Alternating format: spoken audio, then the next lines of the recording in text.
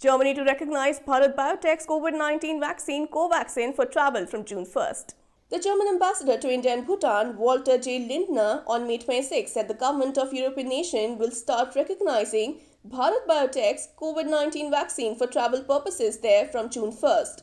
Lindner tweeted, very happy that GER government just decided to recognize WHO-listed Covaxin for travels to GER starting June 1st. This embassy has been pushing very actively for such a decision because of COVID-19 backlogs visa sections have longer waiting periods than normal. Please have patience.